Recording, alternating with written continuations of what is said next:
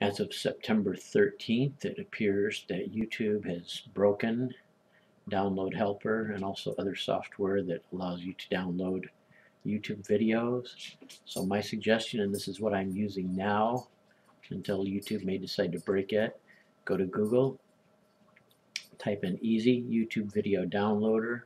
Your very first link after the advertising links will be easy YouTube video downloader, add-ons for Firefox at addons.mozilla.org and here it is just add to Firefox. So for the time being you can switch to easy YouTube video downloader if you use Firefox. And as of the 14th it is working